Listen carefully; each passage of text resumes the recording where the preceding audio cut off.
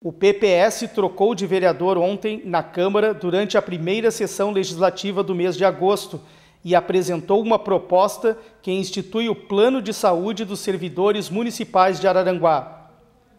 Além disso, a proposta beneficiaria também funcionários da Fama, do SAMAI e do próprio Legislativo.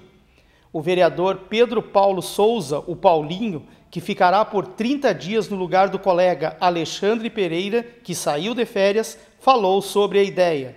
É, a intenção minha é desavagar a rede pública, né? Onde nós hoje tivermos um, problema de saúde, nós temos que ir ao posto de saúde.